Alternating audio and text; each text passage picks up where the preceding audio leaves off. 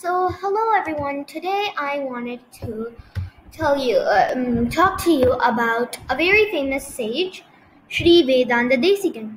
So, let's get started. Sri Vedanta Desikan was a guru slash philosopher and one of the most brilliant stalwart in the Ramanuja period. He was born in 1268 at Kanjipuram. His guru was Sri Kimbidaba Appullar, also known as Sri Arutheri Raman, Ramana, Ramanacharya.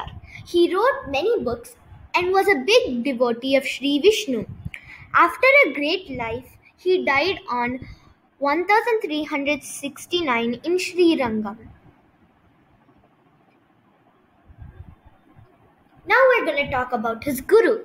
Sri Kimbidi Appallar, also known as Sri Arutheri Ramanucharyar, is Sri Vedanta Desikan's guru. He taught Sri Vedanta Desikan, Desikan many things. Sri Vedanta Desikan's literature, literature works. At each place, he composed many different works in languages such as Tamil, Sanskrit, and more. He composed over 100 works in the following genres.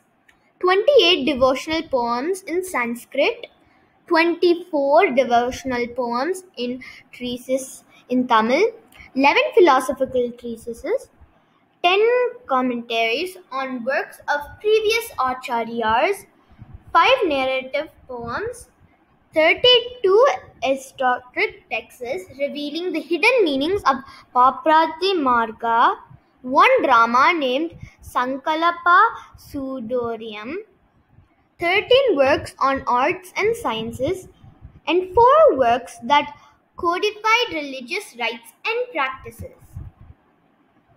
Importance Sri Vedanta Desikan is a, a Sri Vaishnava, meaning he is a very big devotee of Sri Vishnu.